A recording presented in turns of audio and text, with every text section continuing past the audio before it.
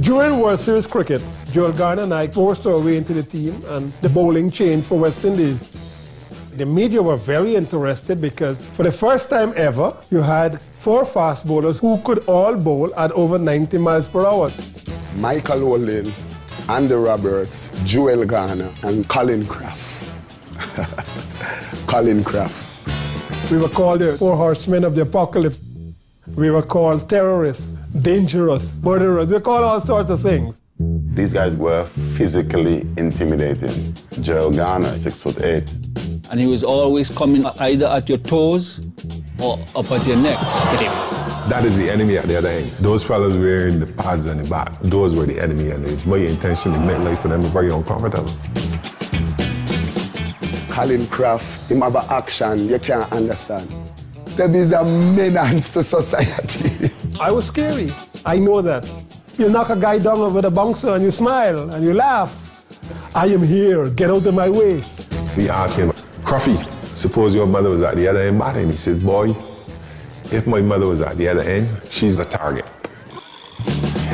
And he was a hitman and labeled the hitman just because he was hitting people. I hear people say that I was a hitman. I didn't go out to try to hit people. It's just that a lot of people get hit. Colin Cowdrey, Sadiq Mohammed, Majid Khan, all the press fracture of the cheekbone. And he was so feared. They all had their different styles, but Michael was called Whispering Death. The umpire couldn't hear me coming. He had to keep on looking behind him to see if I was actually running in. And I suppose the death came from the pace at which I bowled, that it could create death.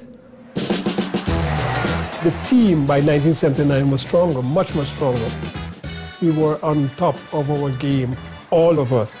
Superb, premium. That's professional sport at the highest level. The West Indians came and said to the cricket culture, listen, cricket can be spectacular. It is art. We were becoming a force politically. They are saying this is a West Indian product. They are showing on the world stage, coming out of the so-called third world, uh, can be excellent. There's a wind of change.